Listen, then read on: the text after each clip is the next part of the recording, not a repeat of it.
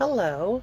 Today we're going to make some Christmas tags. I'm going to be using the Tailor Made tag die, which I pre-cut a bunch of them in, in the basic white.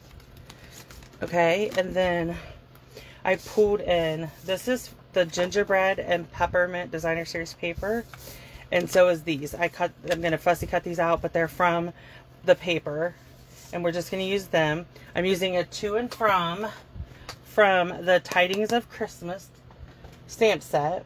And then we're going to use the Real Red Ruffled Ribbon and Real Red ink. Okay? So, first thing I'm going to do is take my paper and cut one and a half.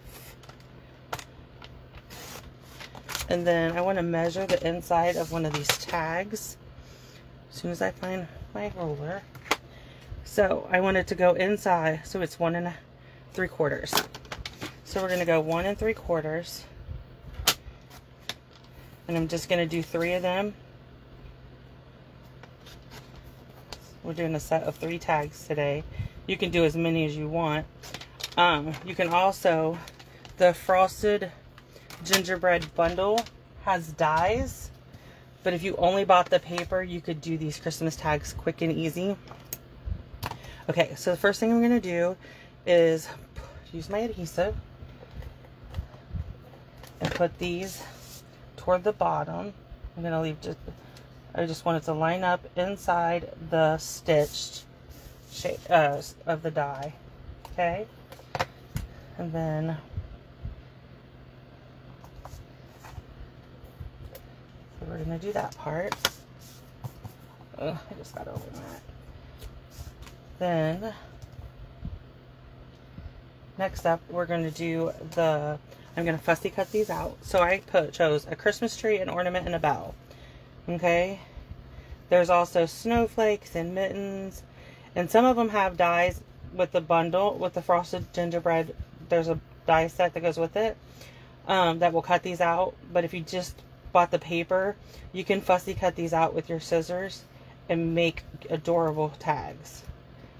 Um, there's quite a few, there's a couple of different stamp sets that have choose and from from in the in the Christmas catalog, but I already had the, I, the tidings and uh, of Christmas out, and it's from the annual catalog, and it has to and from in it. So I said, we'll just use that.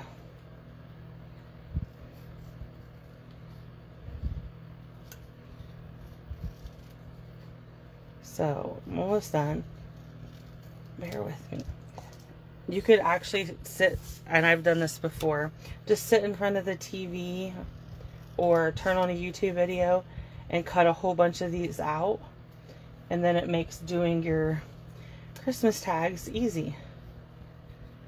You I have a TV tray that I will sometimes take my um, cut and emboss machine and my dies and just sit in there and watch football or basketball with my husband and um get and just do this and work on these. Okay so we're going to do so I want to stamp my to and from on all the tags up here at the top. Okay. And then I'm going to come in with some ribbon. I need my ribbon scissors so I cut my ribbon at an angle so it goes through the hole better. And then just tie a little knot.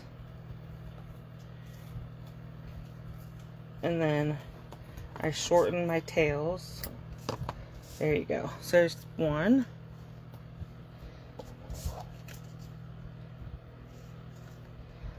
In case you didn't notice, this is my favorite ribbon. My favorite color is real red. Um, I love real red. I love cherry cobbler. Any form of red.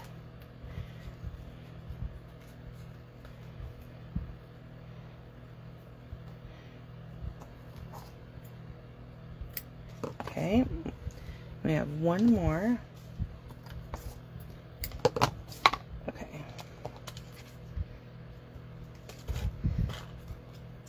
I was trying to use it on the spool of ribbon so that I wasn't wasting a whole lot of ribbon but I'm not very patient. okay, so there's that. So there's our three tags. So we're going to come in with some dimensionals and we're going to decide. Like I want to do the bell on this one. So we're going to use up our scraps of these dimensionals today. Okay. And then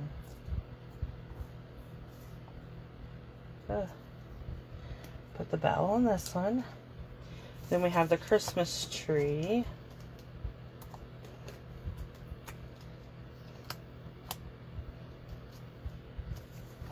Okay. Put that one on that one. And then last up we have the ornament.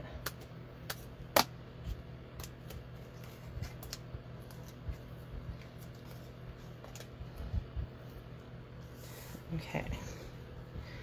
So then there's our ornament. So there is our three tags. And you see how quick that was. Not a, not very long at all. So you can just whip them out pretty easily. I'll have a blog link in the bottom, uh, um, and you can head over to my blog for a uh, list of supplies and a shop. You can click to shop for any of these products. If you have any questions, please let me know. I'll be glad to answer them. Thank you.